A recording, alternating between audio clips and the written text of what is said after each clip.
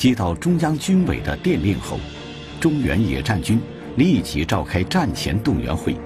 邓小平强调，夺取宿县，对配合华野歼灭黄百韬兵团，防止徐州之敌南逃，都有重大意义。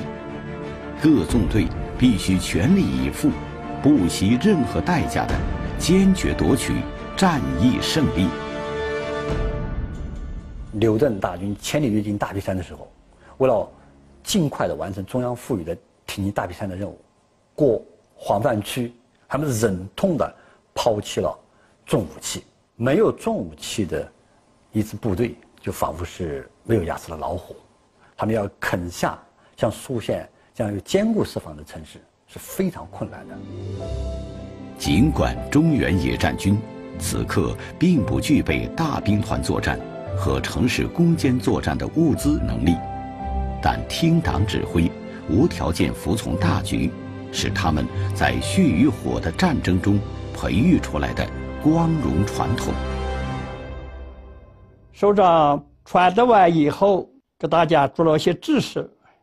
就是宿县这一仗呢，很关键，我们只能打赢，不能打败。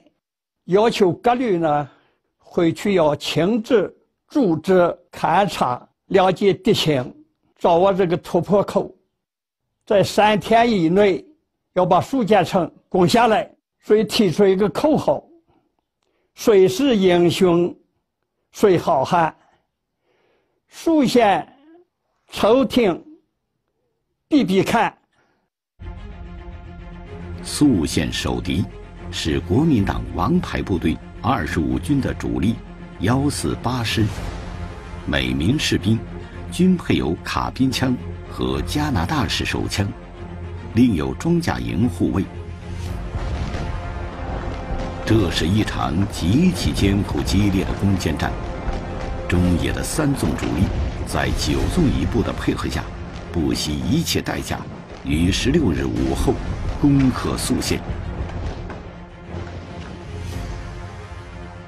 这是三纵二十五团三营八连战士登上宿县城头后的一张珍贵合影。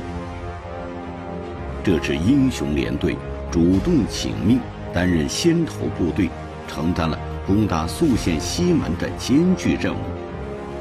战斗中，全体指战员前仆后继，英勇顽强。